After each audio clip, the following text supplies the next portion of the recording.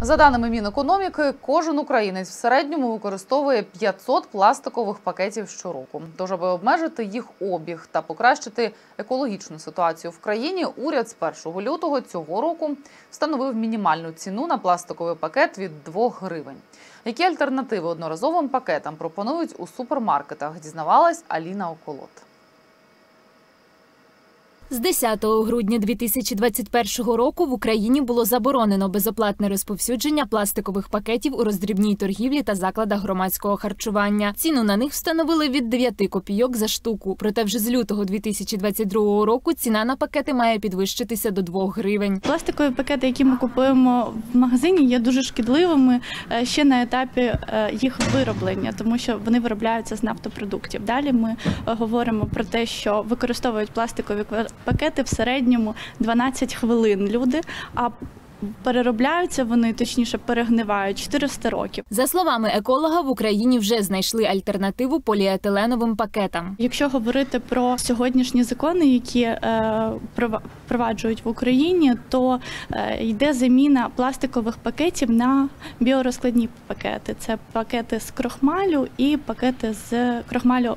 Е, Картопляного і кукурудзяного Е, наразі є три виробника, які можуть поставляти ці пакети.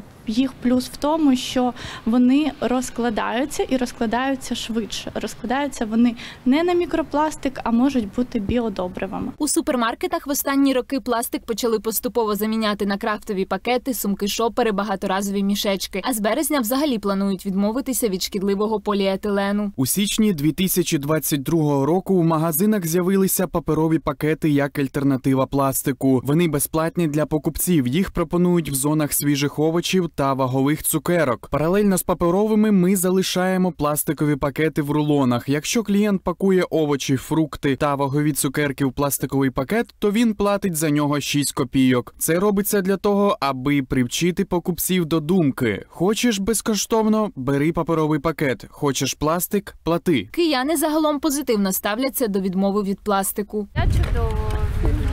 Ну, 2-3 гривни це дорого. Вот, ну, а що делать?